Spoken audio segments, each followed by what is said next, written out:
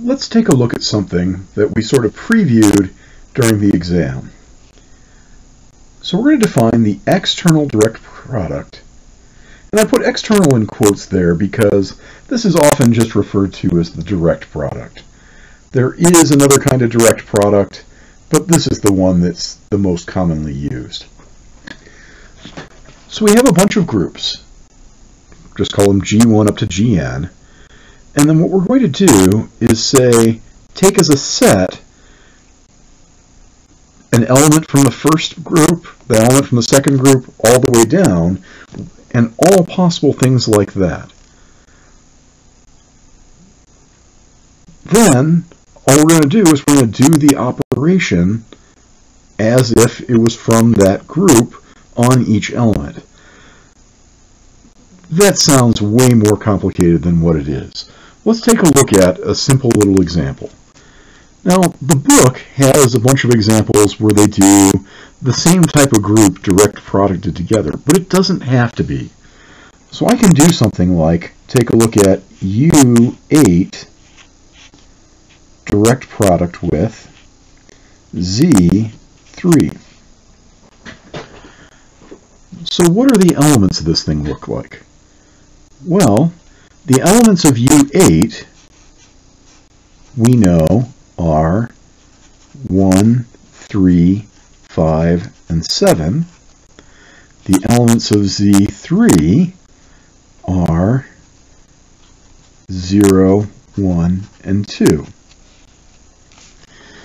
So, U8 direct product with Z3 is the set of all ordered pairs.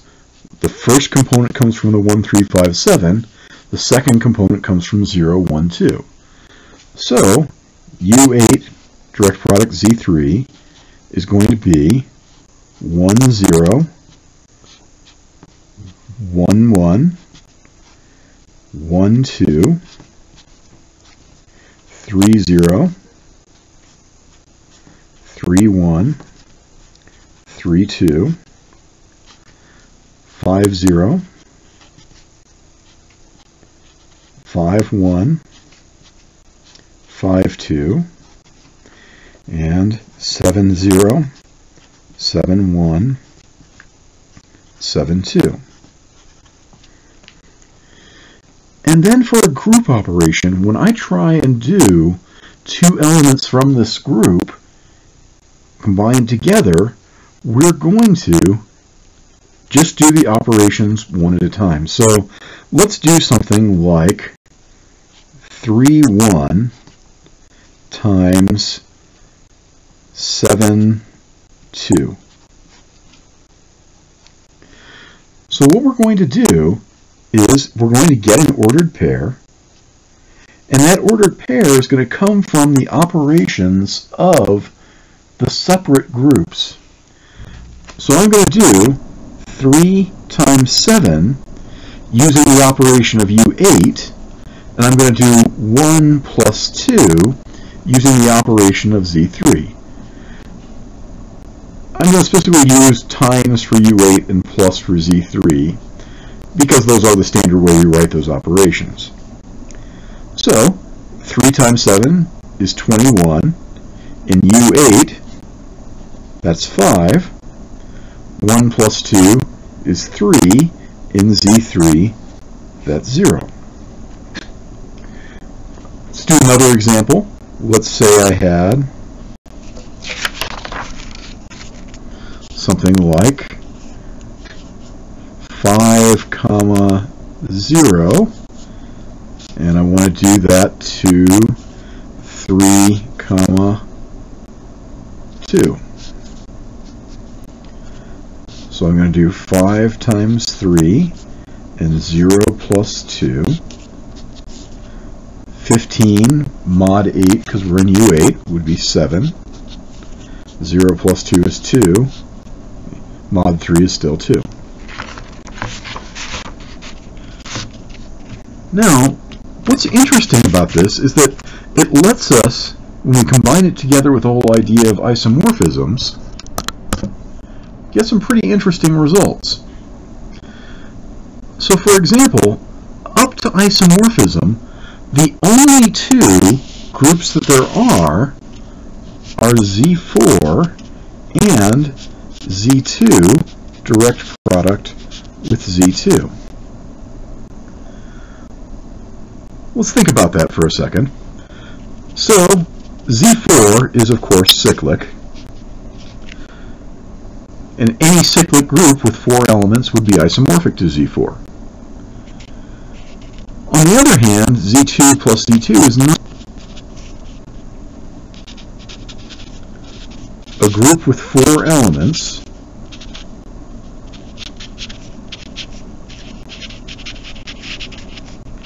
is not cyclic.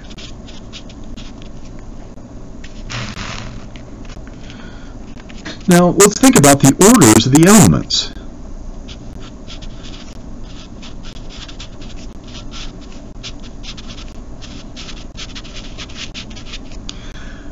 We know the order of any uh, group element must divide the order of the group.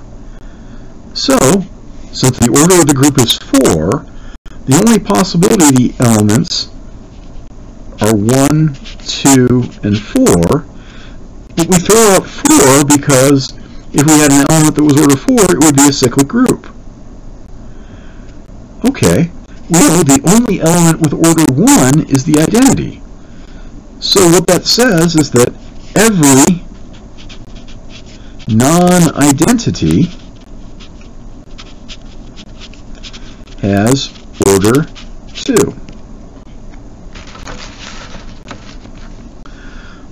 Well, let's start thinking about a Cayley table then. We have to have an identity. We can say A, B, and C. A, B, and C. Okay. We can fill out the identity times anything is that thing. Because they have order 2, anything times itself has to be the identity.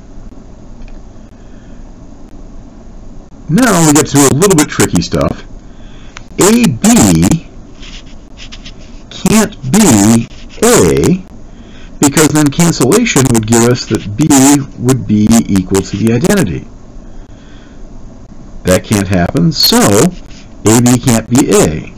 Similarly, AB can't be B, because then right cancellation would give me that A is the identity, and we know that's not the identity. So, the only possibility for AB, AB has to be equal to C. AC has to be B. And doing that kind of reasoning, we can fill out the rest of the Cayley table. BA would have to be C. BC would have to be A. CA would have to be B. And CB would have to be A. Now, we've got this little Cayley table. I'm going to claim that that Cayley table is the same thing as the Cayley table for Z2 direct product Z2. And I think what you should do is try to create the Cayley table for Z2 plus Z2 and see how corresponding the elements would give exactly the same kind of Cayley table.